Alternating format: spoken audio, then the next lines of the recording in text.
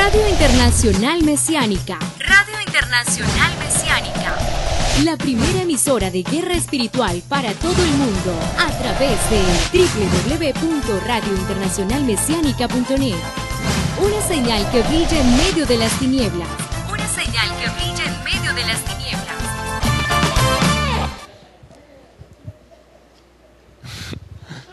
Entonces, este mes, este mes es, el más cargado de qué?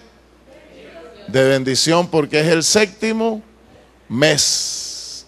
Prácticamente es la lluvia qué? Tardía. Y son las fiestas de otoño.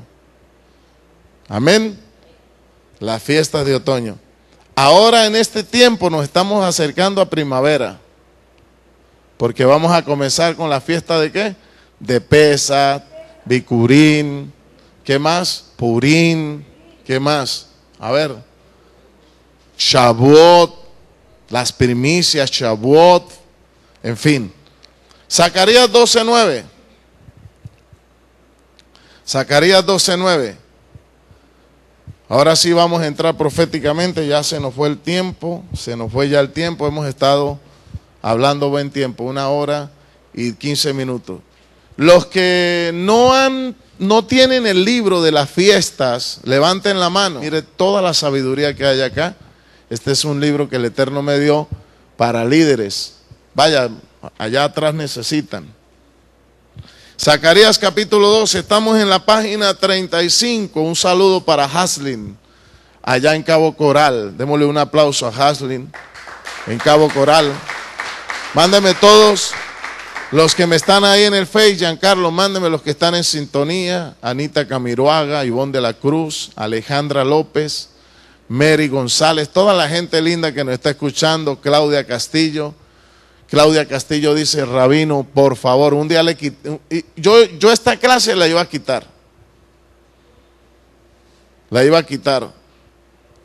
Y me, y me, llamó una persona y me dijo, ay, por favor, Rabino, me quitó usted los lunes este estudio, por favor no lo haga, porque nosotros no tenemos congregación mesiánica. ¿Cuánto diéramos por tener una congregación mesiánica y nuestra compañera es la radio? No nos haga eso, por favor. Entonces, por eso estamos nosotros, todo lo estamos transmitiendo en vivo. Zacarías capítulo 12, verso 9.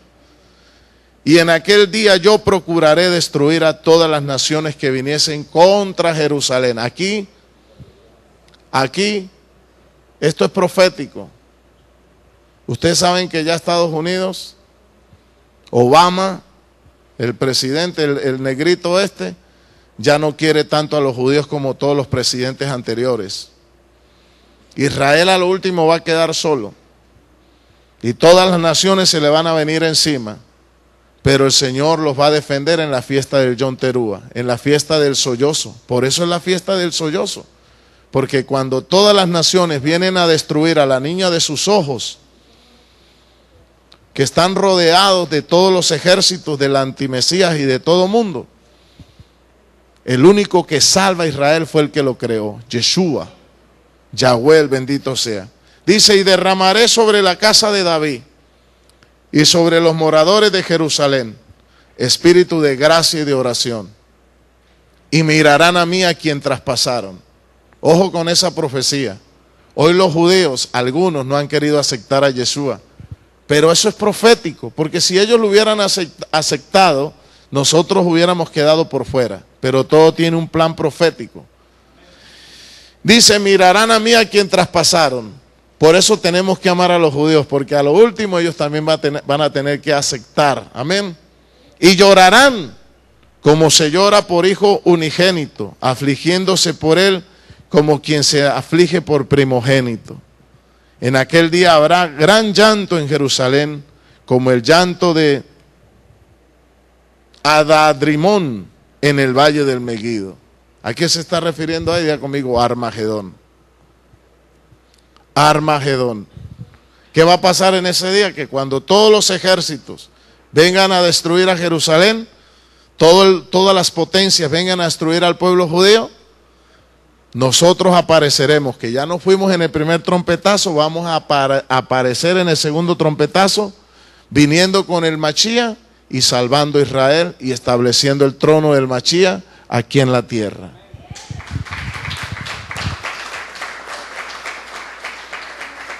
Acuérdese que primero tenemos que darnos un paseo arriba, ¿no? Antes de reinar aquí tenemos que ir a festejar arriba, porque el novio tiene que raptar a la novia para estar en las bodas. Las bodas del Cordero no van a ser acá en la tierra, en la tierra va a ser el milenio, el reino, y, y la fiesta va a ser arriba. En la casa de mi Padre muchas moradas hay, voy pues a preparar lugar para que donde yo esté, vosotros también estéis. Entonces, mi pregunta es, ¿cómo quiere entrar usted? ¿Como invitado, como colado? ¿Como convidado o como novia? ¿O solamente como participante? El señor Raúl Bar, el señor Raúl Vargas y la señora Nancy tienen el gusto de hacerle partícipe a usted. Le dieron la noticia, pero no le están diciendo que vaya. Cuando le participan es para que usted lo sepa, pero el que va es el que lleva la tarjeta de que adentro de qué?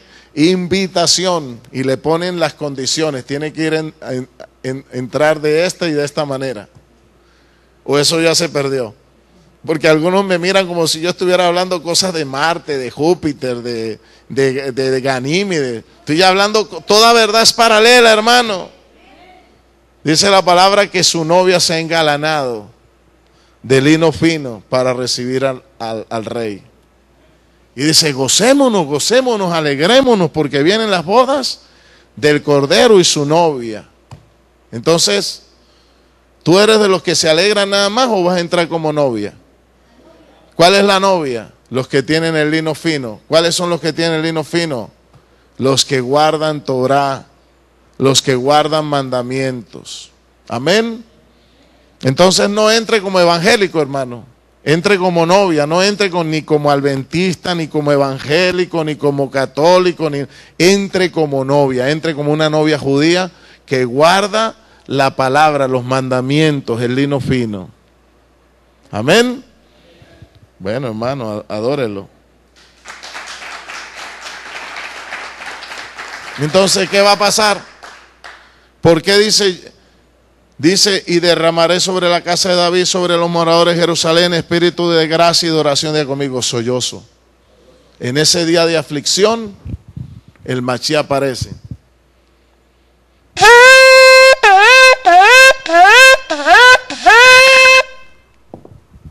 Sollozo. ¿Por qué? Porque todos los ejércitos confederados del nuevo orden mundial se van a ir en contra de destruir a quién. ¿Quién es el que tiene la culpa de toda la crisis mundial, del terrorismo, de la inseguridad? El pueblo que mata a los palestinos, el pueblo más malo de la tierra. ¿Cómo serán esos judíos desgraciados que mataron a Cristo? Son los que tiran bombas a los palestinos, los que matan, los que cargan el...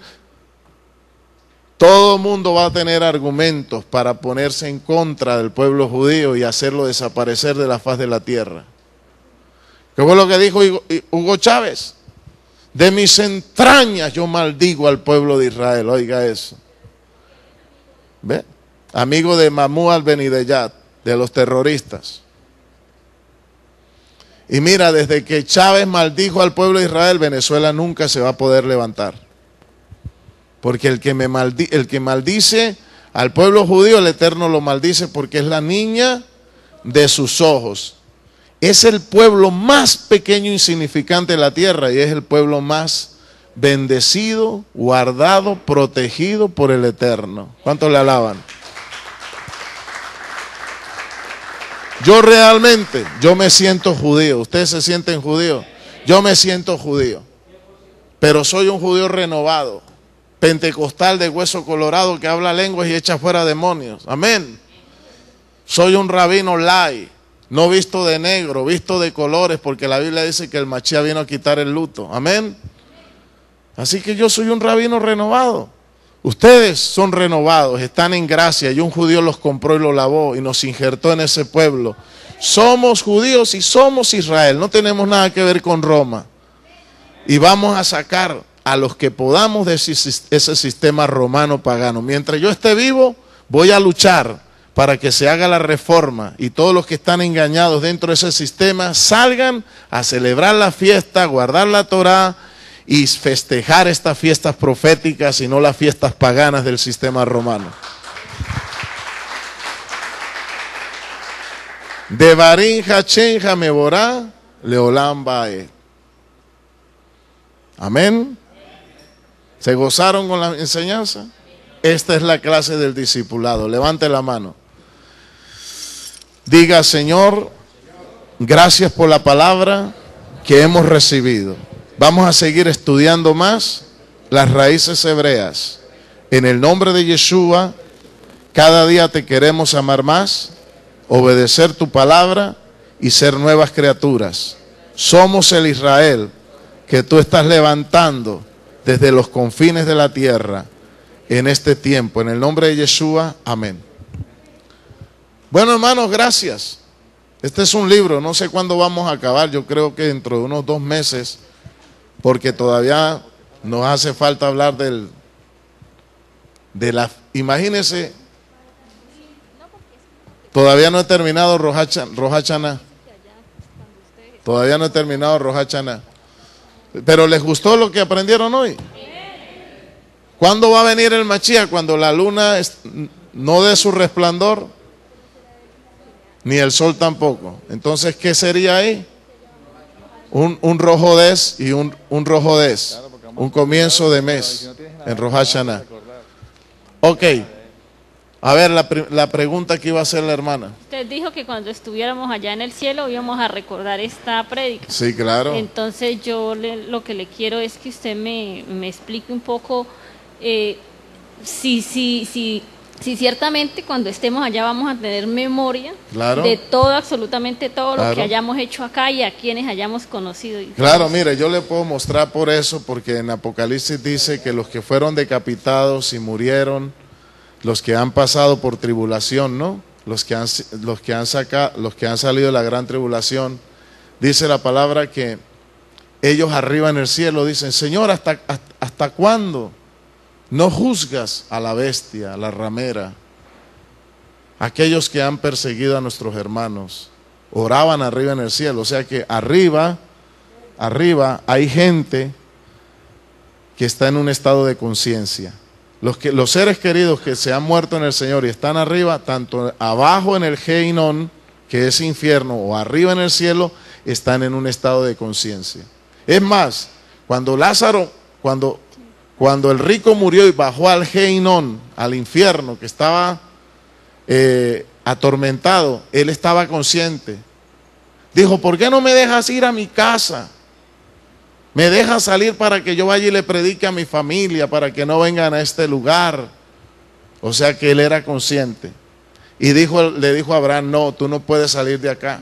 Porque aun si alguien se levantara entre los muertos, no le creerían. Para eso tienen a los profetas, a los rabinos, para que les enseñen. Así no se vale. Y fuera de eso, los que están allá donde tú estás no pueden, pasar, para acá, porque hay un abismo que los separa. Un abismo que los separa. O sea que el que cayó allá es consciente, pero allá no lo saca ya nadie.